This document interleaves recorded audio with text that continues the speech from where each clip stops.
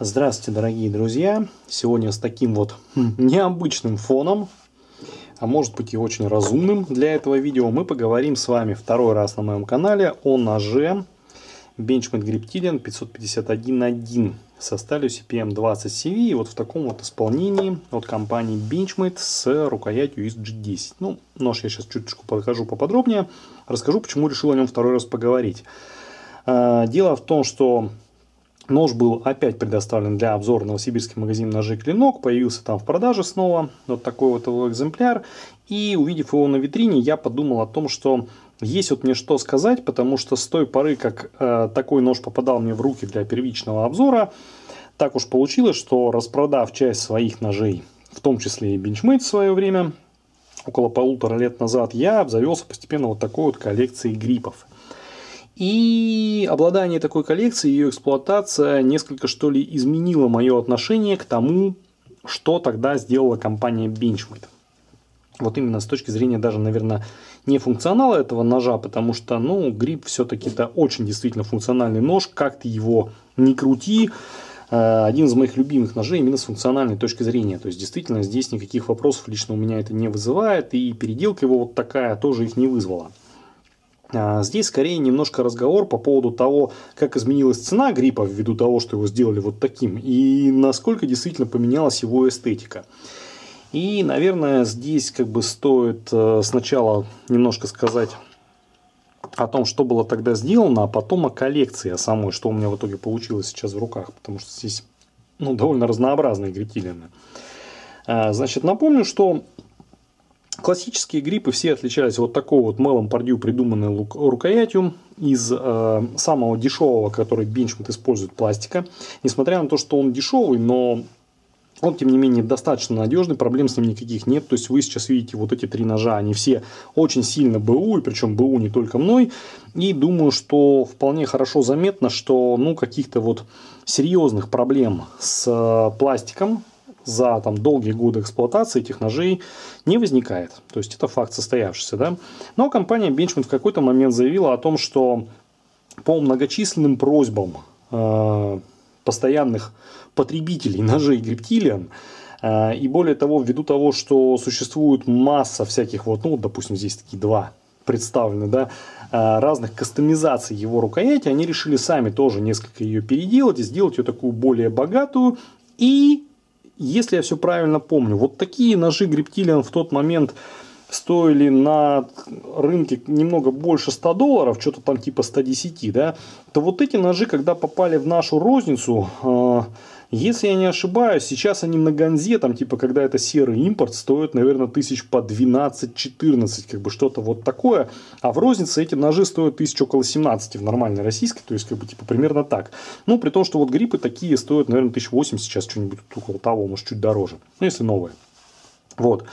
То есть, э, скажем так, что этот нож удорожал ну, почти в два раза тогда. Да? И вот э, сделано это было, по сути дела, что в тот момент? А, пластик был поставлен действительно G10, рукоять стала не из двух, стола, из двух половинок, но стала как бы типа полностью такая разделенная промывная, что, конечно, на мой личный взгляд, для любого складного ножа это плюс, но как бы это не, ну, не какая-то такая острая необходимость. А, пластик G10, вот такая вот насечка была на нем сделана, такая отсылающая нас к классической насечке, но тем не менее она не такая, она несколько более такая мелкая, больше, скажем, визуальный имеет такой характер, нежели чем какое-то практическое применение. Вот, все тот же самый прекрасный аксислог. И в дополнение, чем аргументировалось такое резкое повышение цены, была поставлена сталь CPM 20CV на этот нож. Да? Вот, э, как бы мне тогда показалось, что, ну, в принципе, как, то есть, э, сделано так существенно дороже, богаче, ну, понятно, за что хотели получить деньги, да, и, в принципе, действительно, для человека вот такого, как я, у которого есть целая коллекция грептилинов, ну, наверное, интересно иметь вот такую, если хотите, кастомизацию от самого производителя. Да?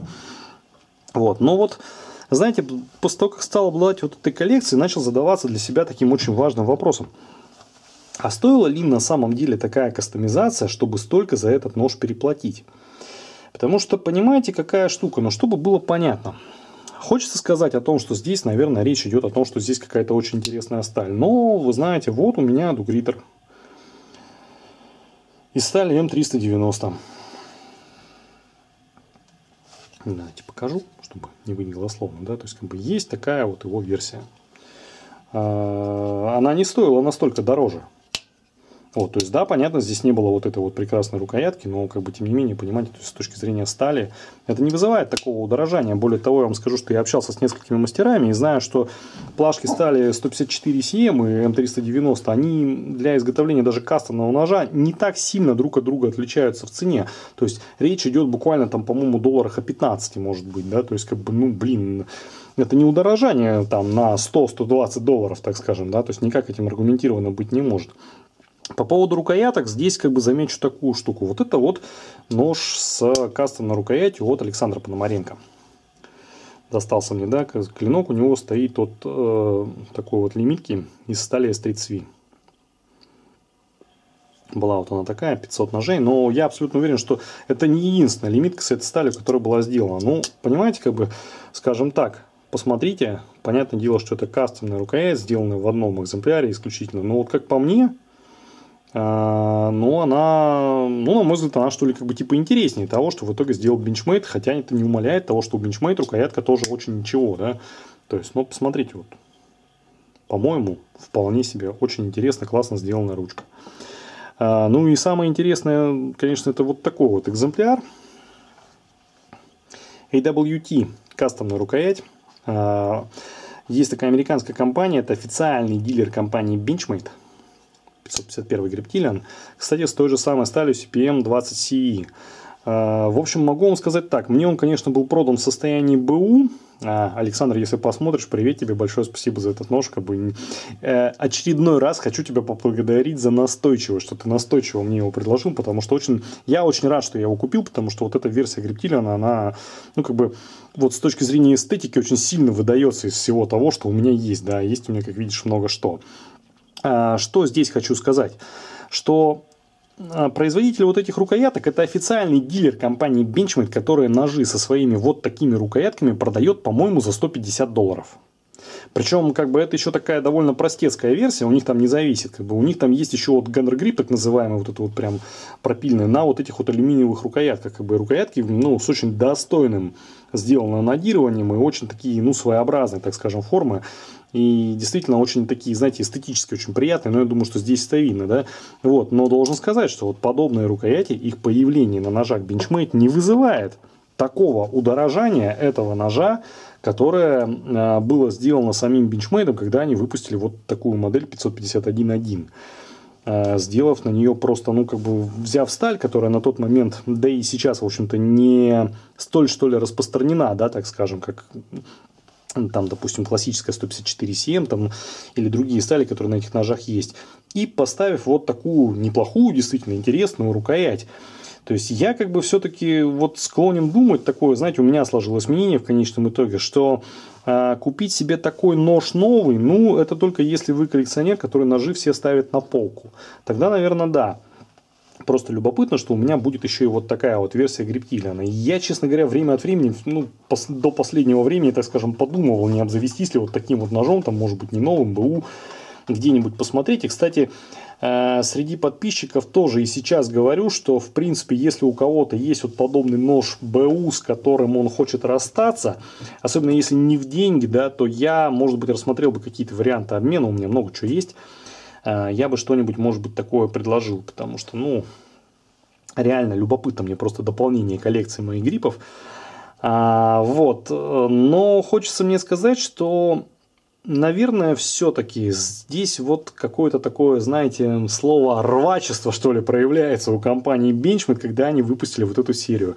Просто на одной из самых удачных моделей своих ножей Э, которые при этом у них выпускаются постоянно, они не были, как многие другие удачные модели, просто сняты с производства, они решили на ней подзаработать, сделав, э, грубо говоря, да, безусловно, сделав эту модель и в плане себестоимости несколько более дорогой, но наценку, похоже, они увеличили процентов на 20. Вот, для того, чтобы подзаработать на этой модели побольше денег. Потому что модель действительно, насколько я знаю, в США натурально всенародно любимая часто, знаете, иногда вот смотрю какие-то американские фильмы, и когда там показывают людей, у которых из кармана видна клипса ножа, то очень часто эта клипса сопровождается именно вот этими широко знакомыми известными рукоятками. Это клипса именно какого-нибудь из ножей Benchmade Reptilian. Вот такие у меня мысли по этому поводу. Не знаю, насколько это вам будет интересно. Видео такое больше размыш... размышленческое, да, вот коллекция похвастаться. Но, тем не менее, надеюсь, что было интересно. Большое спасибо за просмотр. Пока.